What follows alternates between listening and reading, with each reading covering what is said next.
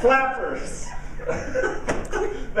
Now, this, you know, these are not made up. We see this. I watched a guy ask people for millions of dollars doing what he's doing just now.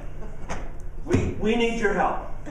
If you could just write us a check. Well, the opposite, we need really big donations.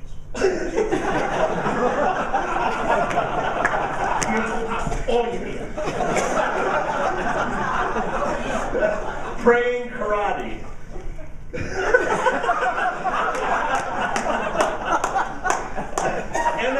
refs. Huh? NFL refs.